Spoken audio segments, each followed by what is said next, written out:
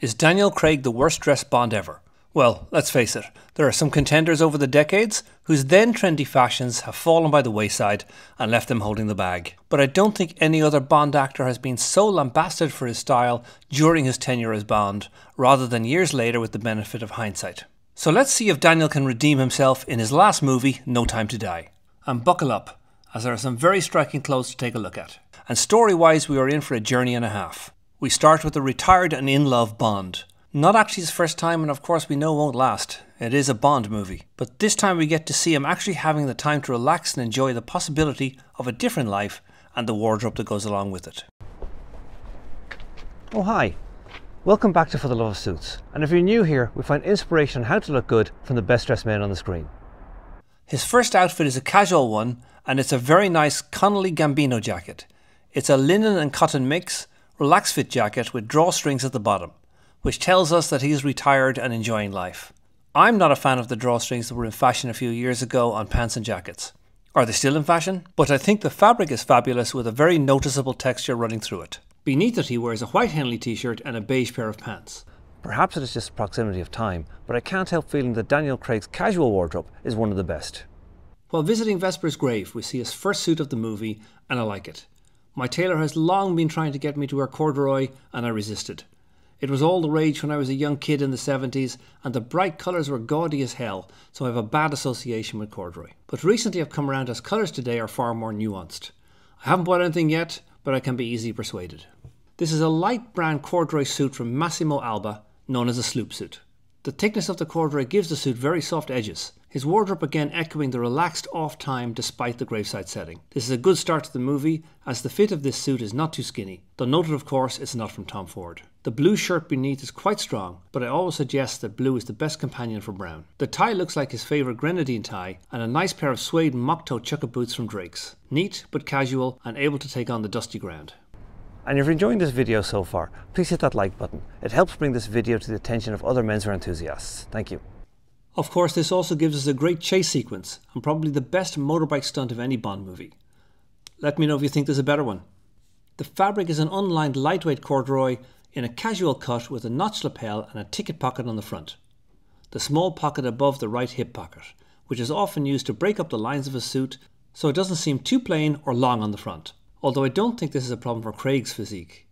If you are interested, there is a full review of the suit from Daniel Gaster over at From Tailors with Love. I'll put a link in the description below. I always wondered what kind of fabric corduroy was. It's a curious one. It's actually velvet with channels cut into it after manufacturing. That gives it that soft look without being too um, uh, velvety. So after the surprise breakup, Bond is back to being solo in Jamaica. A familiar location for Bond, right from the beginning. And back to very casual wear. And of course it won't be long until he's pulled back into MI6, but let's pretend for the moment that we don't know that and enjoy his professional flirting. Daniel has on his go to colour combination for casual wear a black shirt and light jeans or chinos. And it can't be faulted at this stage, it works. When you know what works, just go with it. His shirt is from Tommy Bahama, and the grey chinos are from Tom Ford. Even when the materials are soft and relaxed, this colour combination keeps the outfit looking sharp. It's tux time, and there's a fabulous tux for Daniel's last black tie outing. They paid special attention to the design, but there were a few problems. The fabric, a special stretch silk wool blend that the designer, Suttirat Anne Larlarb, wanted was made in Italy, but there was only a small quantity of it available. The tux was produced by Tom Ford. So they had to produce clean and stressed version of the tux, enough for Daniel Craig, his double, and his stuntman. Okay, there wasn't enough material. This is a very special material with stretched fabric in it, and they say they could only produce 33 versions of the tuxedo. What do you think of the tux? A classic or just run of the mill? Judging by the action sequence, the stretch material was a great decision, and clearly Tom Ford has loosened his tight fit since the last movie. All round, I think this is a great Bond tuxedo. Bond is wearing a Rogue Territory waxed Ridgeline supply jacket that is the perfect canvas for his surroundings. He pairs it with a white t shirt and some dark jeans. The jacket is well worn and rugged, a bit like himself at this stage.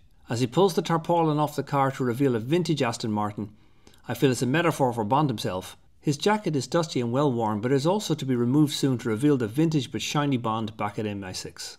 Bond is back in a suit, and a beautiful one at that, and I'd argue one of any Bond's best. It's a beautiful Prince of Wales check two piece suit designed by Tom Ford, Suttirat, with some input from Daniel Craig himself. Though it's a somewhat slim fit suit, I think it fits better than the previous movie suits, and it looks like the input from the others has kept Tom in line. It's a mid grade check and a subtle fabric rich in character and high in quality. The Prince of Wales check is also often referred to as Glen check. However, they are not the same. Technically, the Prince of Wales has an over check on top of the Glen check. But each time I ask tailors about it, I get different answers, so don't fret about the difference too much.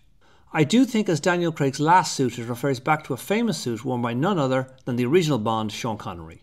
He wore a three piece grey Glencheck suit in Goldfinger, which is often referred to as the best suit of his term. So, after the controversy of the last two movies, I can't help feeling that Daniel Craig has redeemed himself a little bit this time round.